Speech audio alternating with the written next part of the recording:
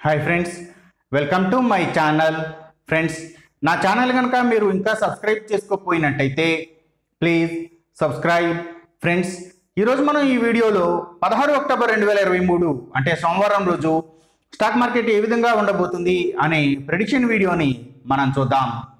అసలు సోమవారం రోజు ఓవరాల్గా స్టాక్ మార్కెట్ రెండు ఎలా ఉండబోతుంది అనేది తెలుసుకునే ముందుగా ప్రీ మార్కెట్ స్టేషన్ గురించి మనం ప్రెడిక్ట్ చేయాలి అంటే అంతకన్నా ముందు రోజు అంటే ఫ్రైడే అమెరికన్ స్టాక్ మార్కెట్ నా స్టాక్ అక్కడి న్యూస్ మీద డిపెండ్ అయ్యి మార్కెట్ మూవ్మెంట్ చూపించే అవకాశం ఉంది. అలాగే ఇక నెక్స్ట్ రోజు అంటే మండే రోజు మార్నింగ్ టైము ఒక మిక్స్డ్ ట్రెండ్ని చూపించే అవకాశం ఉంది. ఏషియన్ మార్కెట్స్ ఒక మిక్స్డ్ మూమెంట్ని చూపించే అవకాశం ఉంది. సో అలాంటి మిక్స్డ్ ట్రెండ్ బిగినింగ్ మనకి దొరికిన తర్వాత మన మార్కెట్ స్టార్ట్ అయిన దగ్గర నుంచి అప్ టు ద ఎండింగ్ వరకు అంటే మార్కెట్ క్లోజ్ అయ్యే వరకు కూడా మన మార్కెట్ ఓవరాల్ ట్రెండ్ ఎలా ఉండబోతుంది అనేది మనం తెలుసుకునే ముందుగా సో డైలీ ఏదైతే చూస్తామో Nifty and bank Nifty options కోసం ఫేవరింగ్ టైమింగ్స్ మనం చూడాలి అంటే సో ఇది మనం చూడాలి అంటే సో ఒక మిక్స్డ్ ట్రెండ్ బిగినింగ్ అనేది మనకి దొరికే అవకాశం ఉంది అనుకున్నాము. సో అలాంటి బిగినింగ్ మనకు దొరికిన తర్వాత మన మార్కెట్ స్టార్ట్ అయిన దగ్గర నుంచి up to ten o'clock కూడా మన మార్కెట్ కొంత ఫ్లాట్ మూమెంట్ని చూపించే అవకాశం ఉంది. సో ఇది ఖచ్చితంగా చెప్పాలి అంటే ఇది ఫ్లాట్ టు పాజిటివ్ మూమెంట్ని చూపించే అవకాశం ఉంది. అలాగే ఇక టెన్ ఓ క్లాక్ నుంచి వన్ ఓ క్లాక్ వరకు అంటే మధ్యాహ్నం ఒంటి గంట వరకు కూడా మన మార్కెట్ డౌన్వర్డ్స్ మూమెంట్స్ని చూపించి మనకి ఇప్పుడు తీసుకునే ఆపర్చునిటీ ఇచ్చే టైంగా దీన్ని మనం చెప్పుకోవచ్చు. అలాగే ఇక వన్ ఓ క్లాక్ నుంచి టూ ఓ క్లాక్ వరకు ఈ టైం పీరియడ్లో మాత్రం ఇది మన మార్కెట్ ట్రెండ్ మీద అలాగే న్యూస్ మీద డిపెండ్ అయ్యి మార్కెట్ మూమెంట్ చూపించే అవకాశం ఉంది. సో మనం ఎప్పుడు చెప్తాము ఈ డిపెండెంట్ టైం పీరియడ్లో కనుక మార్కెట్ మూవ్మెంట్ ఎట్లా ఉంటే మొత్తంగా ఓవరాల్గా ఆ రోజు డేస్ ట్రెండ్ కూడా సుమారుగా అలాగే ఉండే అవకాశం ఉంటుంది అని.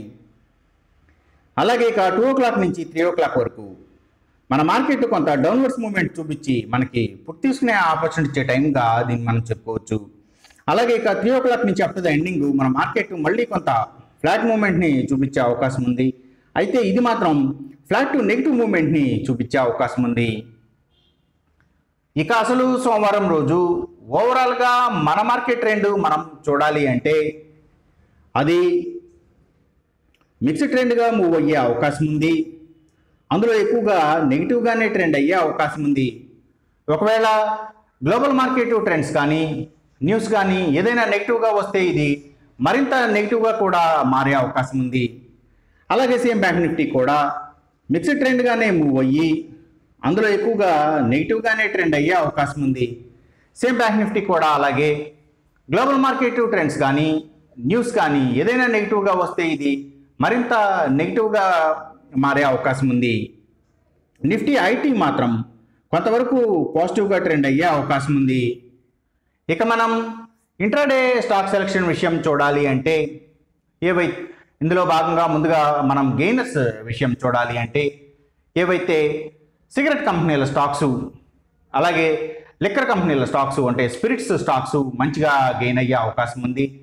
అలాగే ఇంకా స్టీల్స్ ఐటీ స్టాక్స్ కూడా మంచిగా గెయిన్ అయ్యే అవకాశం ఉంది. అలాగే ఇంకా ఏవైతే కమ్యూనికేషన్ సెక్టర్ స్టాక్స్ అలాగే వాటిని బేస్ చేసుకుని పనిచేసే cell phone towers cables internet services providers so ఇవన్నీ కూడా గేమింగ్ సైడ్ ఉండే అవకాశం ఉంది. అలాగే ఇంకా ఫుడ్స్ అండ్ బెవరేజెస్కి సంబంధించిన కంపెనీల స్టాక్స్ ఎఫ్ఎంసీజీ సెక్టర్ స్టాక్స్ మంచిగా గెయిన్ అయ్యే అవకాశం ఉంది సోమవారం రోజున. ఇక మనం ఇంట్రాడే లూజర్స్ విషయం చూడాలి అంటే ఏవైతే పబ్లిక్ లిమిటెడ్ కంపెనీల స్టాక్స్ చాలా వరకు కూడా నెగిటివ్గా ట్రెండ్ అయ్యే అవకాశం ఉంది. అలాగే ఇంకా అలాగే ఇంకా ఏవైతే Nifty automobile sector stocks power and ఎనర్జీకి సంబంధించిన కంపెనీల స్టాక్స్ అలాగే ట్రాన్స్పోర్ట్ బేస్డ్గా పనిచేసే అన్ని కంపెనీల స్టాక్స్ అంటే tours and travels logistic supplies అలాగే courier services delivery services. So ఇవన్నీ కూడా నెగిటివ్గానే ట్రెండ్ అయ్యే అవకాశం ఉంది. అలాగే ఇంకా సిమెంట్స్ కంపెనీల stocks real estate sector stocks ప్రత్యేకించి ల్యాండ్స్తో డీల్ చేసే కంపెనీల స్టాక్స్. సో ఇవన్నీ కూడా నెగిటివ్గానే ట్రెండ్ అయ్యే అవకాశం ఉంది. అలాగే అగ్రికల్చరల్కి రిలేటెడ్గా ఉండే అన్ని కంపెనీల stocks fertilisers and chemicals seeds కంపెనీల స్టాక్స్. సో ఇవి కూడా నెగిటివ్గా ట్రెండ్ అయ్యే అవకాశం ఉంది. అలాగే ఫార్మా సెక్టర్ స్టాక్స్ కూడా నెగిటివ్గానే ట్రెండ్ అయ్యే అవకాశం ఉంది సోమవారం రోజున. ఇక మనం ఎంసీఎక్స్ ట్రేడింగ్ విషయం చూడాలి అంటే ఏవైతే గోల్డ్ ప్రైసెస్